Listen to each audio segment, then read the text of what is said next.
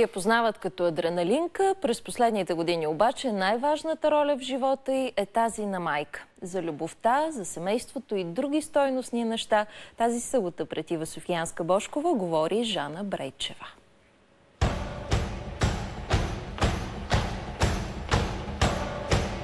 I got my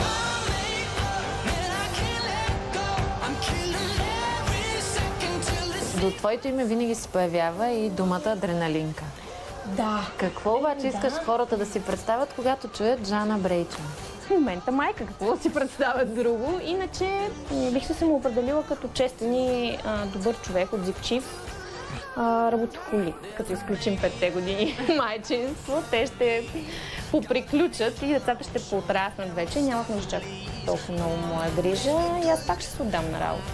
А думата адреналинка? Думата адре- адреналинка, оттам започна всичко. Не, не искам да я изтривам от живота си, изобщо от а, начина по който ме възприемат хората, но това е едно много красиво мое минало.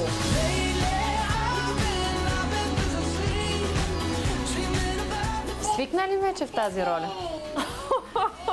Така като гледаш, не всичките не са мои.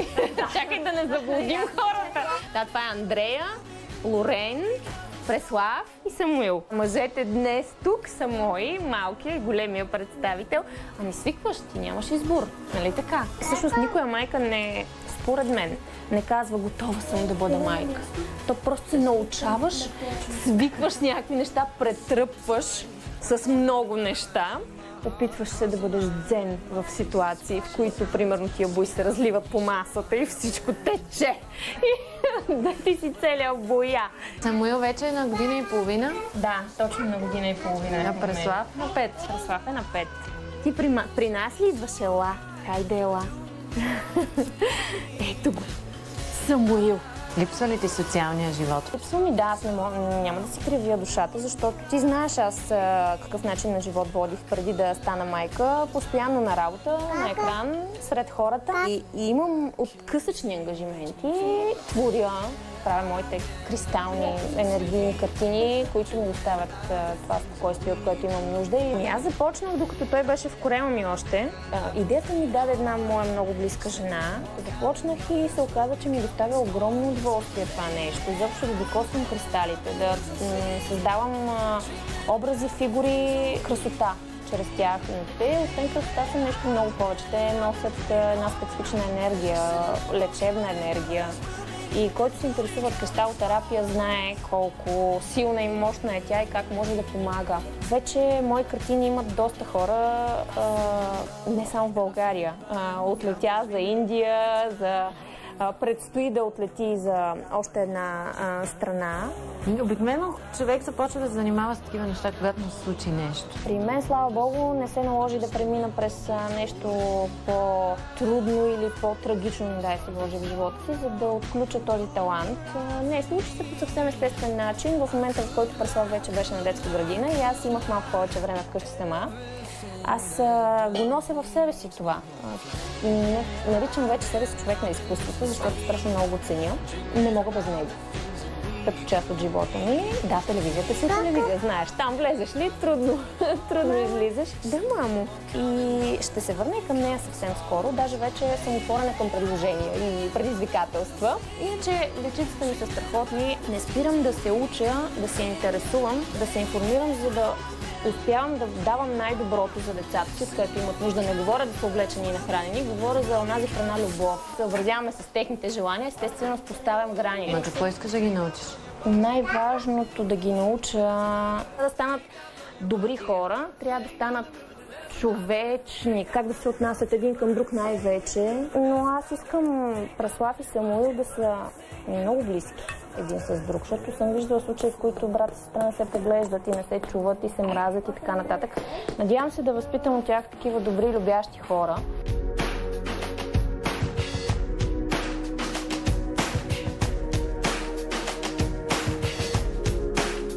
Така ли изкарвате празници? Семейно?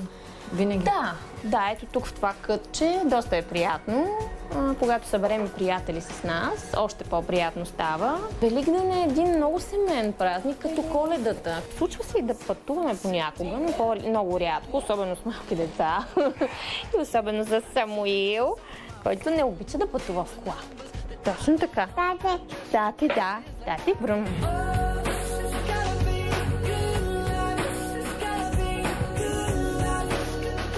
Как се запозна с Запознаха ме с него. Моя близка приятелка и негов близък приятел се познаваха помежду си и така се случи всичко. Нещата помежду ни се получиха доста сложно и доста време от не. Не го харесвах, страхувах се от този човек, защото той гледаше лошо и ми изглеждаше страшен. Обаче в някакъв момент, след като не спря да настоява, нали, да се видим след там, ние се запознаваме, след а, повече от половин година се виждаме за първи път, аз излизам с приятелка, не излизам сама с него. И си казвам, айде да, да спре да ми досажда и така нататък. Но те някакси аз в ден днешен нямам отговор как се получиха помежду ни нещата. По-различен беше от останалите, които нали, се въртят около теб и си мислят, че като си момиче там от телевизора и могат да намерят твоя телефон, да осъществят контакт и нали, да не продължавам. Той ми спечели, спечели доверието и с това всъщност не е любов в пръв поглед. Не. Но въпросът е, че и до ден днешен тази любов съществува. Тя преминава в нещо още по-силно, в обич, в доверие, в а, приятелство помежду ни, в а, разбиране, допълване и всичко това е една връзка и компромис естествено. А сега, толкова години по-късно, как се разбирате? Еми 10 години по-късно, как се разбираме, с поглед. Като се прибере между него и между децата, кой на кого да обърне внимание, естествено те му се хвърлят по врата и всеки чака на опашката. Когато децата заспът, вече ние може да си кажем две думи, да поговорим какво се случи днес или как си, така, сядаме, е, споделяме си някакви неща. Ако има проблем, той се разрешава чрез споделяне, а не чрез сърдене и чрез караници. А, слава Богу съм намерила начина да решаваме тези трудни моменти помежду ни, защото няма как да кажа всичко е цветя и роза при нас. Успявате ли покрай децата, покрай Нали, работа знаеш, да няма как да намерите? са същите малки моменти, които са били преди децата, но да, има ги много по-малко. Няма как. Можете ли да заминете някъде само двамата? Да... Виж, сега честно ти казвам, а, откакто... Ти от какво се впечатли толкова? от какво се впечатли толкова ти? Откакто се е появил Преслав, това са 5 години вече, а, едно единствено пътуване от тук до Варна имаме аз и Славомир, двамата сами. Едно единствено. На където и да тръгнем, винаги. Е, децата.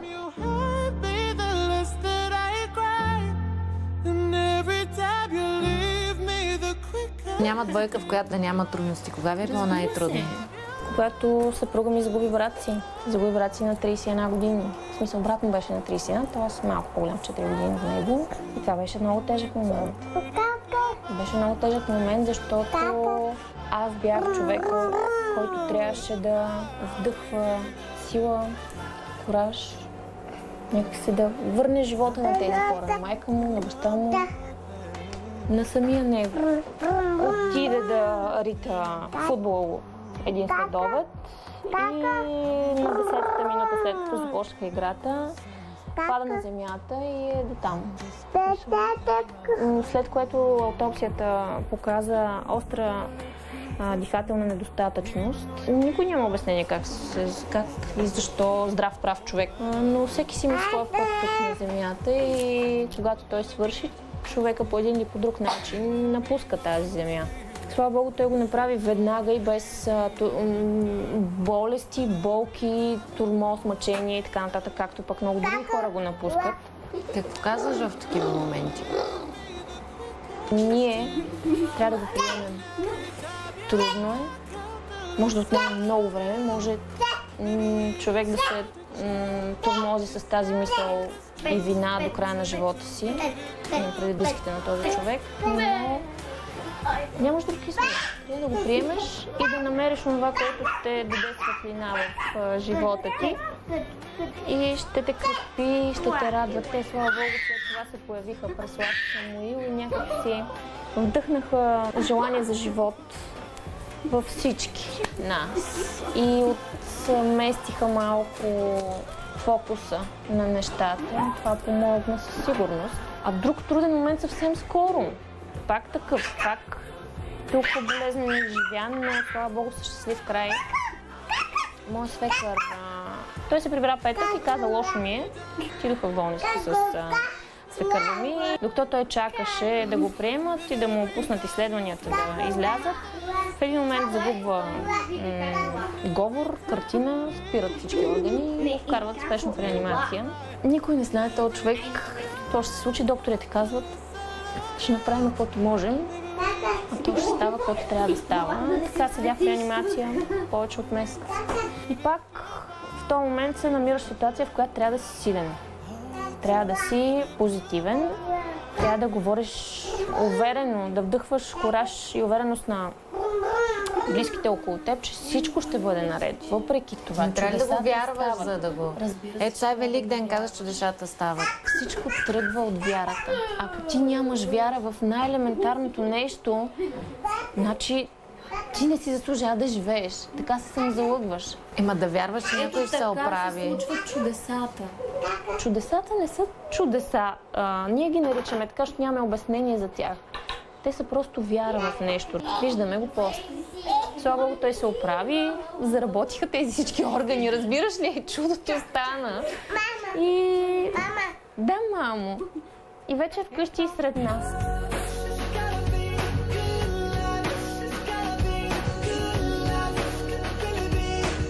Как се виждаш след 10 години? След 10 години вече се виждам като една а, истински работеща жена. И в телевизия, и с картините. Имам някакви мечти и стремежи. Надявам се те да бъдат подпомогнати от Вселената и всичко да се случва по най-добрия начин за мен и за моето семейство. Какво ще трябва друго? Освен малко работа, едно щастливо семейство, пътувания, а, приятели. Малко, но истински. What there's to complain about?